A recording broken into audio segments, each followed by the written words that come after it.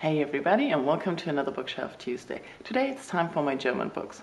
I don't have as many German books as I have English books, so don't be surprised. As you can see, I don't have that many German books. I only have two shelves. Reasons for that are for one part that during school I lived off our school library and the books from my brother, and most of these books are translations from other languages into German. So that's why I started reading English books all the time because if I can read it, why read a translation? So let's have a closer look at the kind of books I have. Chingiz Aitmatov, I have three stories of his. He's a Russian writer, and I really like Jamilia. It's a love story, and I really like that one. Then we have some short stories, fantasy from Robert Asprin, Paul Auster. I got that as a present, that's why it's in German. I got a really nice old book. This is a really nice old edition of a German book. This is one of my favorite stories as a kid and some Enid Blyton and some children's stories. Hanni and Nanny. I tried reading Don Quixote, but it didn't work out.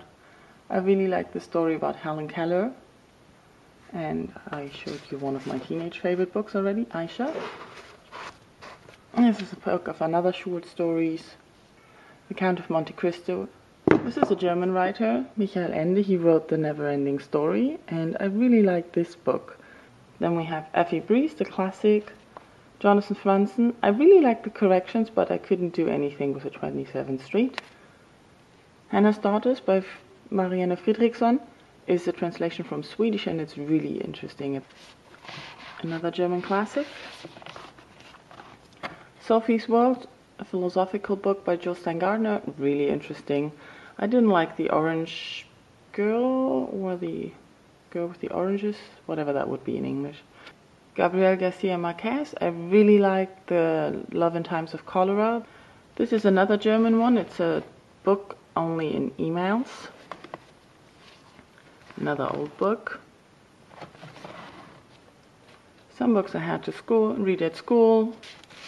This is actually the only German book I read this year, and it was a road novel, and it started off good, but it didn't finish well, so I was a little bit disappointed by the ending. Then we have some Hermann Hesse, classic German author, fantasy Indiana Jones. I actually never read this one.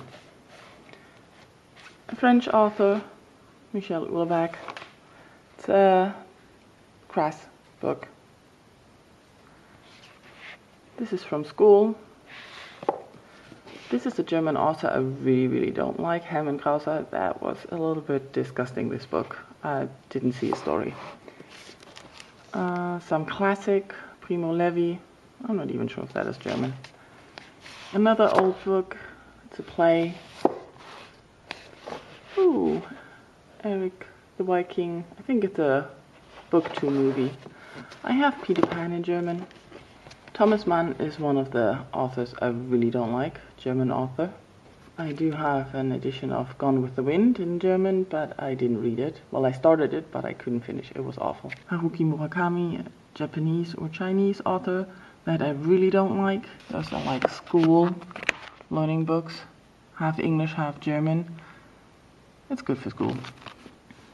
This is part of the 80s. Uh, we're all going to die in an atomic blast literature, Die Wolke, classic one, children's books, children's books, some Terry Pratchett, Robert Rankin fantasies, Rainer Maria Rilke, he's a German poet, Tom Robbins, a translation from English. This is actually one book I really liked as a child. You, there was a bet going on how many worms they could eat over a week or so. It was kind of funny how they prepared the worms. Sven Regener actually is a German author that I really like, and oh, I think he has a new book, so I have to see him buy that one for this year. He writes in a special style, and I really like that. Cyrano de Bergerac, French translation. This one looked nice from the cover, but it was strange. It was a book about the parents, but not a nice book. Another school book.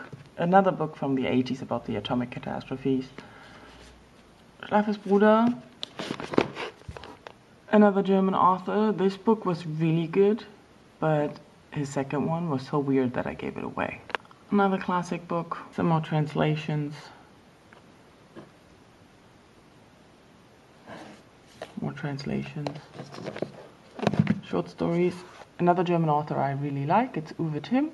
He has written some great books. War and Peace, I started it for 200 pages and then I had to stop, so maybe I'll read it to the end one day. Translation of a crime story, children's books, children's books, books for school, and a lot of those German classics. Reclam for school, more school books and children's books. This one is Carlos Ruiz Zafón, who everybody seems to like, and I just started this book and I was so bored, couldn't even finish it. So those were all my German books. I know it looked a little bit different today than all the other Tuesdays, but I didn't want to bore you with too many details about the books that I hardly remember and are mainly children's books anyways. So thank you all for watching all these Bookshelf Tuesdays with me. And I hope you enjoyed them, and I'll see you on Friday for a book review. Bye bye.